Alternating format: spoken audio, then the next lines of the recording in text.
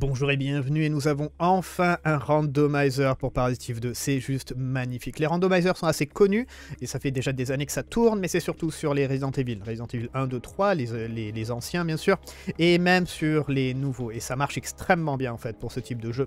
Et Parasitive 2 est extrêmement proche en fait des Resident Evil, et maintenant on a à notre disposition un randomizer qui fonctionne. Alors c'est la première version pour le moment, mais honnêtement moi personnellement j'ai testé jusque quasiment au, CD2 en fait, j'ai quasiment fini le CD1 et j'ai eu aucun problème. Je mettrai encore ça dans la description si vous êtes intéressé de regarder les streams et c'est ultra ultra fun.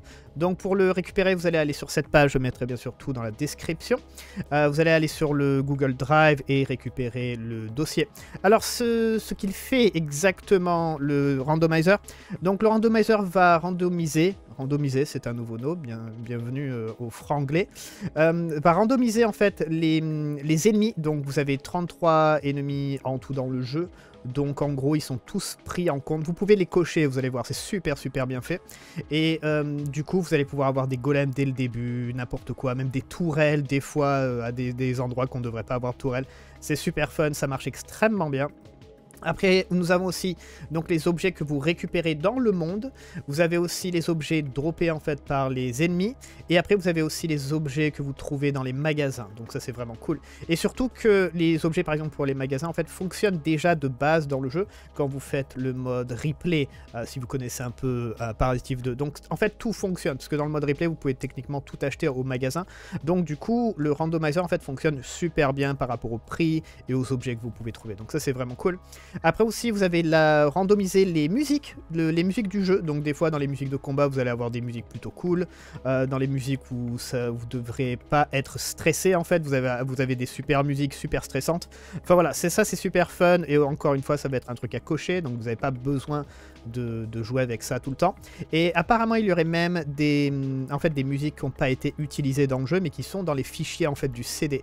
Donc ça, c'est assez intéressant. Après, euh, vous avez aussi des options supplémentaires pour les fans hardcore. Donc par exemple, on peut désactiver les boîtes de munitions. Vous savez que dans Parasitive 2, vous trouvez quelques boîtes de munitions, comme par exemple les 9 mm PB. Donc déjà, vous pouvez complètement en fait euh, supprimer ça si vous voulez. Et après, bien sûr, vous pouvez même euh, augmenter ou baisser le, les prix en fait des choses que vous trouvez dans les magasins. Donc ça aussi c'est plutôt sympathique. Après vous avez bien sûr tous les modes de jeu qui sont euh, débloqués en fait dès le début du jeu. Donc vous avez le mode replay, bounty, scavenger et euh, Nightmare, donc le mode cauchemar, dès le début. Donc vous n'avez pas besoin de, sauvegarde en fait euh, pour pouvoir avoir accès à ces modes de jeu. Donc ça encore une fois c'est super bien fait. Après il y a eu des rebalancements au niveau, de certains items qui par rapport à leur prix qui étaient un peu trop élevés, qui pourraient ne pas être vraiment très appréciables pour un, randomiseur. Euh, et après qu'est-ce qu'on a aussi d'autre de très intéressant? Il y a aussi des futurs plans en fait que vous allez pouvoir lire si vous voulez. donc voilà, honnêtement c'est un super super, super, boulot. Je suis très, très content. Maintenant, je vais vous montrer comment, le, comment en fait randomiser votre jeu. Alors, quand vous allez le télécharger, vous allez avoir ça. Donc, vous allez bien sûr l'extraire et après, vous le lancez. Donc, randomiser de Eve pour 2 et vous avez cette fenêtre. Donc c'est avec cette, euh, avec cette fenêtre en fait que vous allez tout pouvoir faire. Et ce qui est intéressant, c'est que c'est pas seulement un randomiseur parce que vous pouvez complètement en fait décocher ça par exemple. Et là le, le, jeu en fait ne va pas être randomisé, le jeu pourra être joué normalement. Et ce que vous pouvez faire même, c'est genre choisir votre arme de début, votre magie de début, euh, les armures de début, par exemple l'armure euh, au début dans la première partie du jeu et après à Dryfield. Euh, vous voyez, il y a vraiment tout en fait. Donc techniquement, vous pouvez même, sans le côté en fait randomisé, vous pouvez complètement faire votre propre run custom si vous voulez.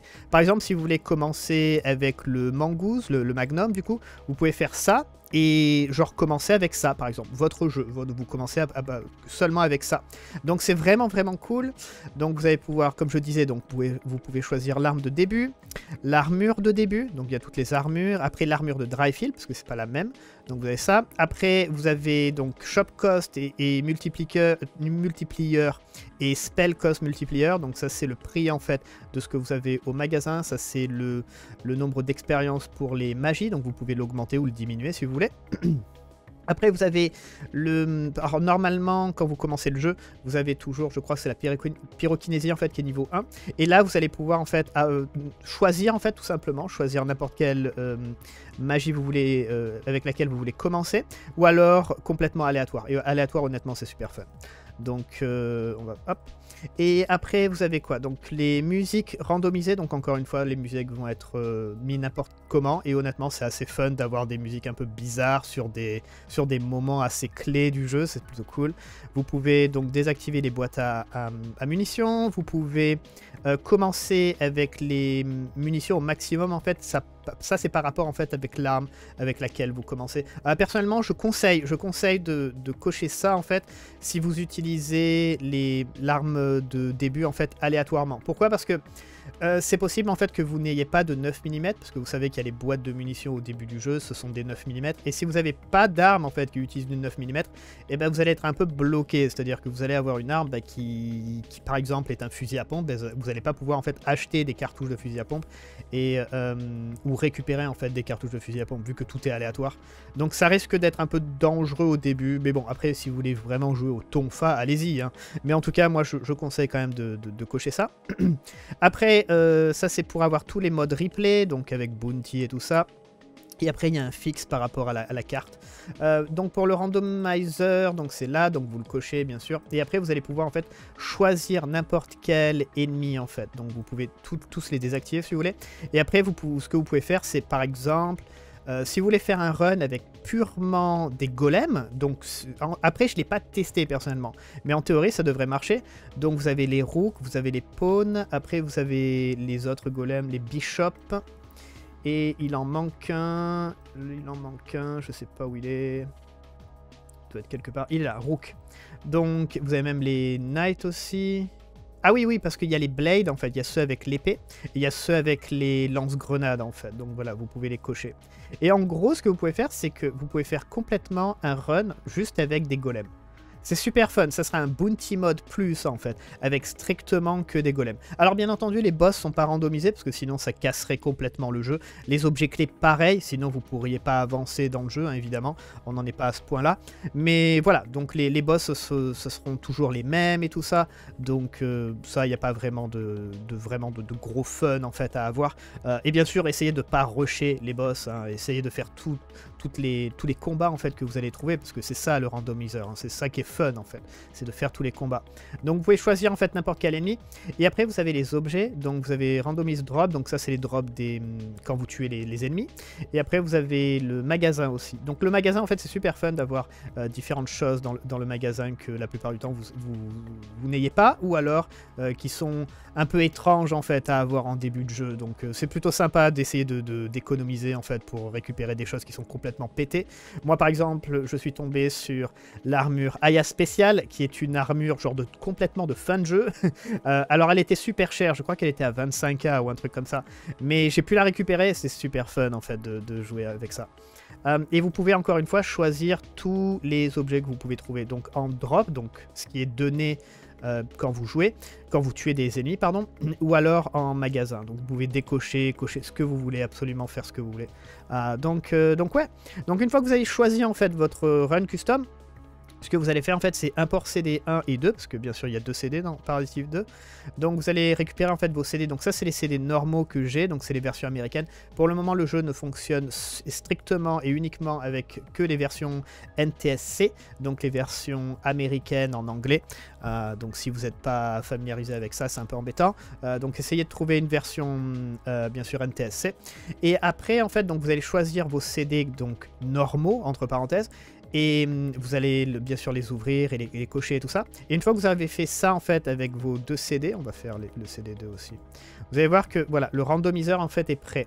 Et quand vous allez cliquer ça, vous allez devoir attendre à peu près euh, peut-être une minute ou un truc comme ça, et ça va créer en fait des nouveaux CD. Donc c'est pour ça que j'ai des nouveaux CD. Donc par exemple ça c'est euh, donc là vous avez je crois la date où il a été créé, et après en fait vous avez le, le, seed en fait euh, du, du, randomizer. Donc là ça va créer en fait des nouveaux CD. Ça va créer en fait des doubles qui sont eux manipulés pour le randomizer. Et c'est ça que vous allez devoir jouer en fait.